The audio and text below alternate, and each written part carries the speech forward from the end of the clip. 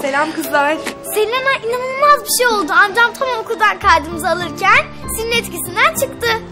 Nazlıcığım onu yapan zaten Selena'ydı. Harikasın Selena. Tam zamanında olaya müdahale ettin.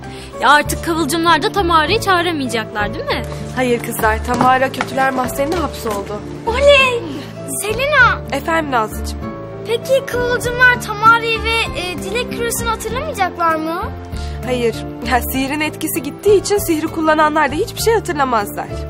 Ama yani siz yine de merak ediyorsanız bir deneyin. Olur. Selam.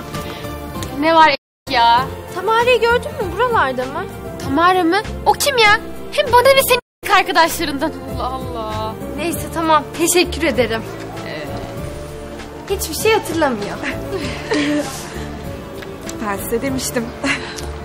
Aa, Selin, Ozan geliyor.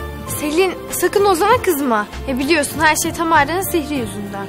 Ya zaten merak etme, Ozan da hiçbir şey hatırlamayacak nasıl olsa. Merhaba Ozan. Merhaba Selin. Kıvılcım. Efendim Ozan? Ya Selena olamaz ya. Ozan galiba hala sihirin etkisinde. Ama...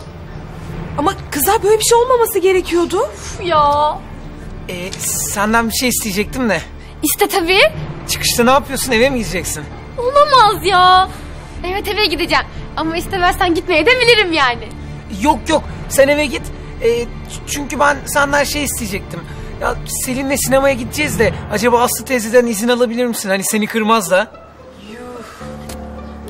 Sağ ol Kıvılcım çok iyisin. Selin akşam umarım bir planın yoktur. Çünkü sinemaya gidiyoruz.